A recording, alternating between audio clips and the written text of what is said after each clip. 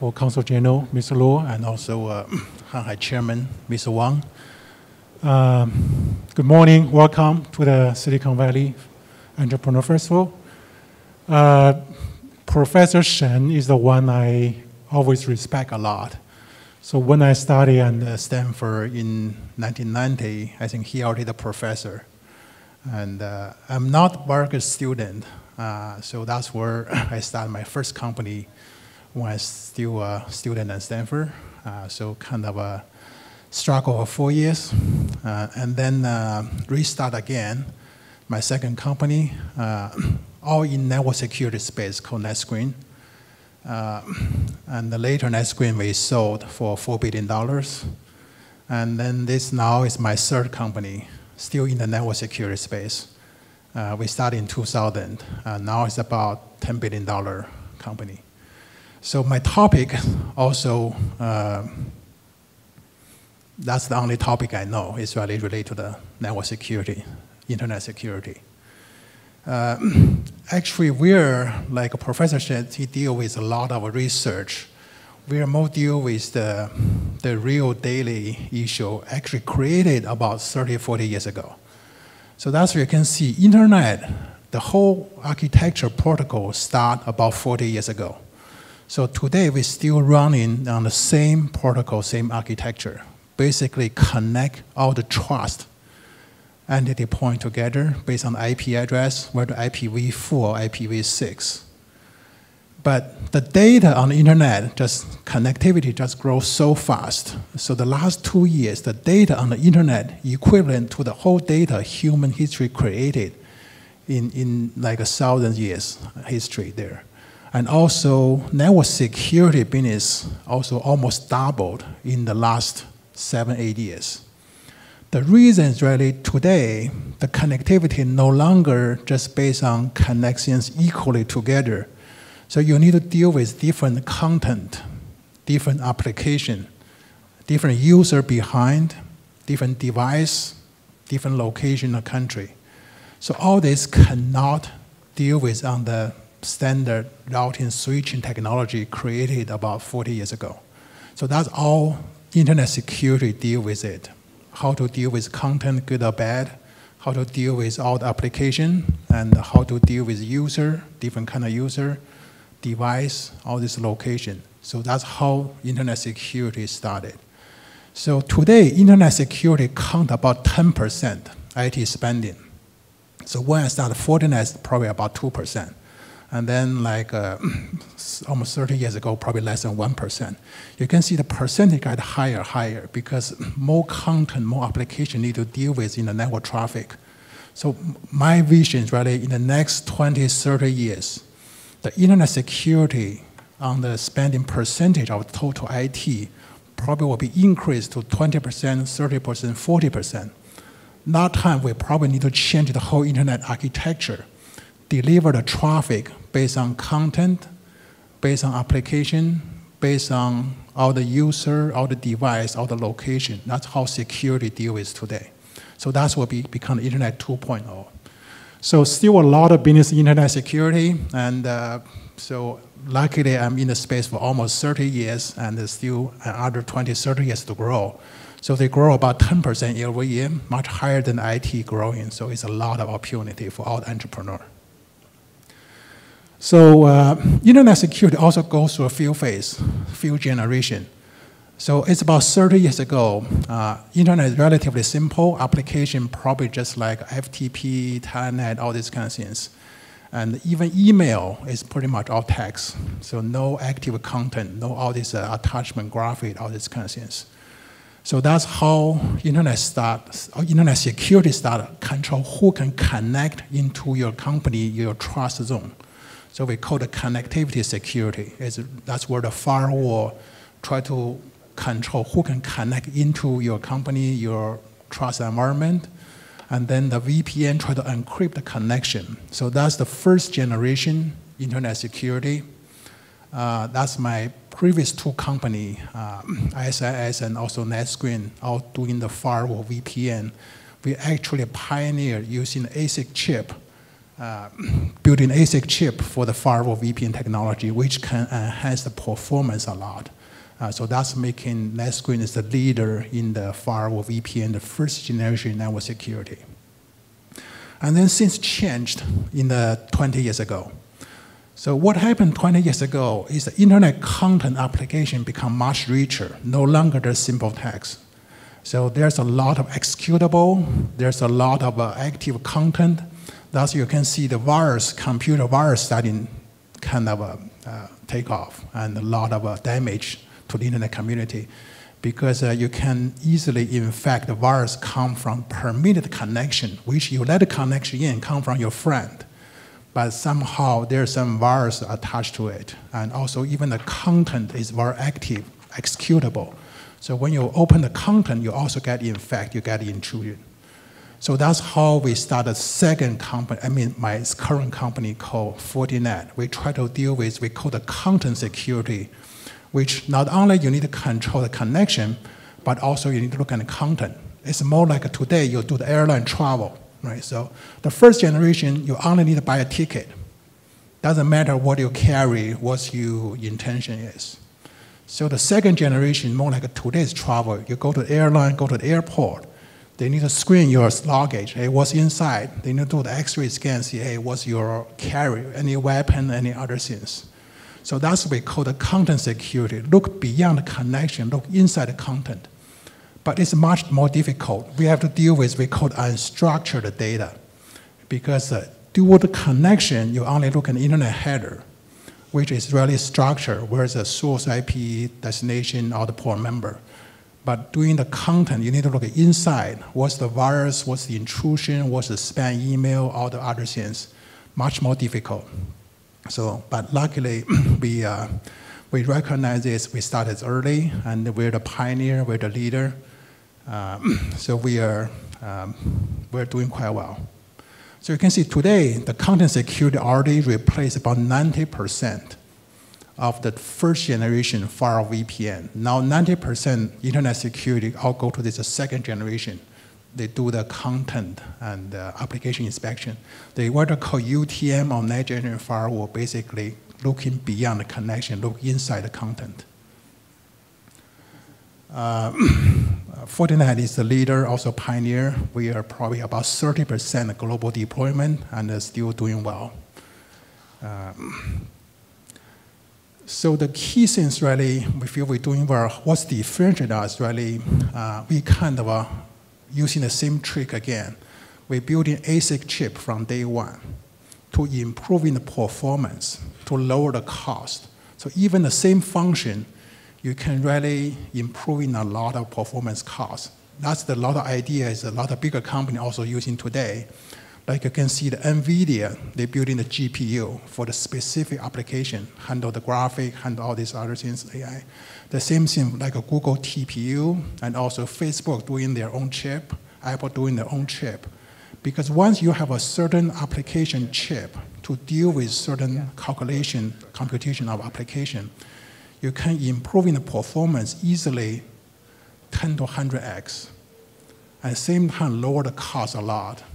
So that's compared to the same software running in the general purpose CPU, you have a seven to eight years advantage compared to the general purpose CPU running the software. So that's the uh, specific A chip, ASIC chips advantage. But of course, there's other, other, other issue. You have to deal with a very high cost, big investment, take a long time to build. But once you have the technology, it's a huge advantage. That's also because it's an entrepreneur festival, you can look at the, the whole space a little bit. So today, there's about 2,000 internet security funded by the VC. Every year, average probably about 300 come into the space. But not quite many can go to the billion dollar level. So less than five go to the billion dollar level. So what's the reason? And it's a very fast growing space, it's a big space. Why so many companies uh, being stay so small cannot go to the next stage. And the, the space so fragmented, even the leader, none of the company can count more than 20% of the space. So it's a very, very fragmented space. I feel there's a few reasons. Right? First, uh, there's a lot of uh, dynamic, a lot of new things come up on the internet, internet applications. So the security company need to be very dynamic, very innovative, and need to react very, very quickly. So once the company get bigger, it's difficult to keep up all the change. So whenever you stay in the internet security, you need to keep up all the innovation, all the change. The second part also, uh, because uh, once you starting with some niche application or niche security, that's I say 90% or more than 90% company, they all starting from detect internet issue, security issue. We call the detection stage. That's the first stage. I say 90, 95% company only do certain application detections. You oh, know, something get into my network, certain application has some problem. So that's the most easy stage. So 90 some percent company only into this stage. But that's not enough. You have so many different applications, so many different traffic, and uh, so once you get all this alarm message or something wrong, something uh, happen on my application, on my data, once you deal with it, that's the other issue for the system administrator. A lot of human has to be involved. Let's go to the second stage, we call the prevention stage and remediation. That's where you need to have the machine help you stop the intrusion take out the malware, take out the virus. That's what we call the prevention. But prevention has to be inline, has to be uh, stop all the bad traffic automatically. That's have the performance requirement, also have the low false positive requirement.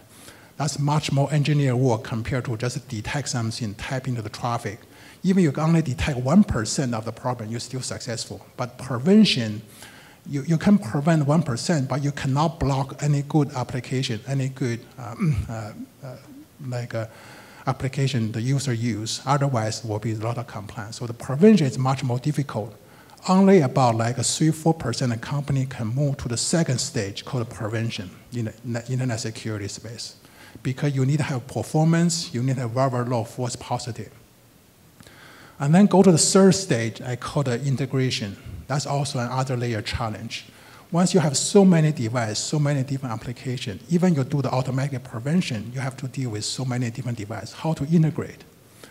That's where a lot of bigger company, if they depend on buying company, um, doing the integration is very, very difficult. Like uh, the bigger networking company bought my previous company, even they paid a $4 billion, it's very difficult for them to integrate. After a few years, they're very, very struggle the other big networking company, every year they kind of buy different network security company, try to keep up the change, but also very difficult to integrate together. If you cannot integrate, you cannot simplify the management, you cannot lower the cost. So that's where network security is always a struggle with all the other networking still follow the Moore's law. They almost double every 18 to 24 months on the performance and uh, on the speed. So let's go to the next stage. So you can look at the integration. I say only three, four company. That's all the billion dollar cybersecurity company. They need to do integration.